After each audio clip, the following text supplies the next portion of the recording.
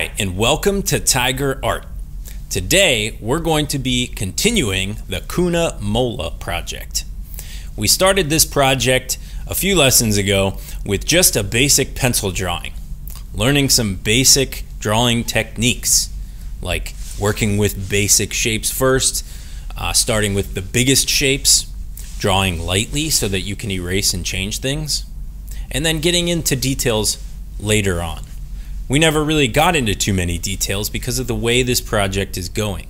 We're using cut pieces of paper to glue together to make the picture, so that's not really going to lend itself well to fine details. But that's okay because we can keep it simple and fun. So to make this mola, we started with the pencil drawing, then we were working on building outlines in color on a black piece. Now we're going to be focusing more on what's going on inside the animal. So you will be starting a bit of the background too, but really today is about just focusing on coming up with a pattern or a plan for the inside and getting that all finished. Also, you could look back today if you're a bit behind and get caught up. Okay, so last time I left off about here, and I was in the process of applying a second outline to this. So I cut some pieces, I put some glue down where I want them to go, and then I stick them on. That's it.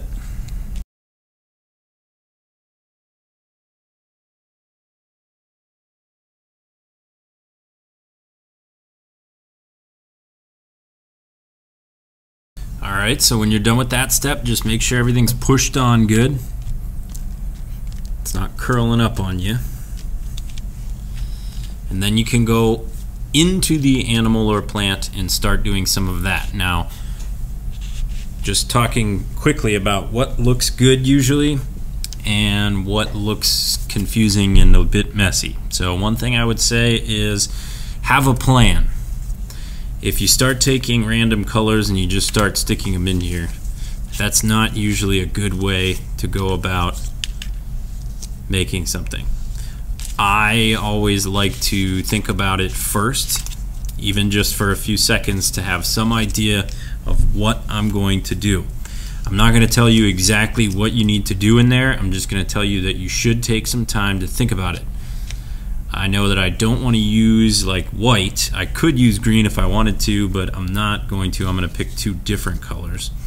And let's say I pick light blue and how about red? Red would be a good color. That would stand out. So I'll cut some first. For an area like this, it would be okay to use some longer pieces. Now here it gets a bit different. So you can choose how you want to make these, but it should be organized and it should be some kind of pattern. So I am going to make a pattern just that alternates between red and light blue.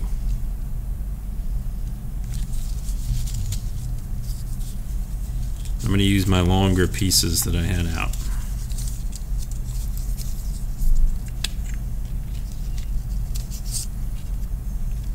So these ones are going to be the red ones, and these will be the light blue ones.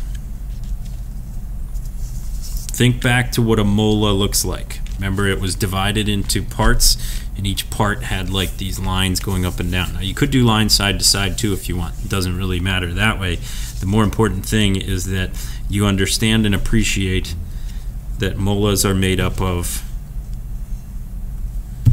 um, patterns in line repetition. So you can do it either way. You could either put the glue on the piece like this, or you could put the glue right on there like this. Whichever is easiest for you.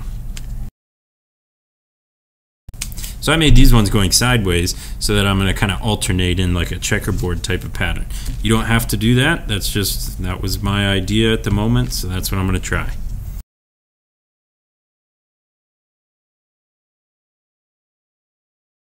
Okay, I think I'm going to use a different color for these parts.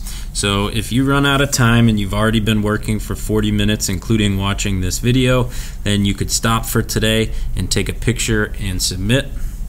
I think I have a bit more time, so I'm going to do these three parts and then I'm going to stop.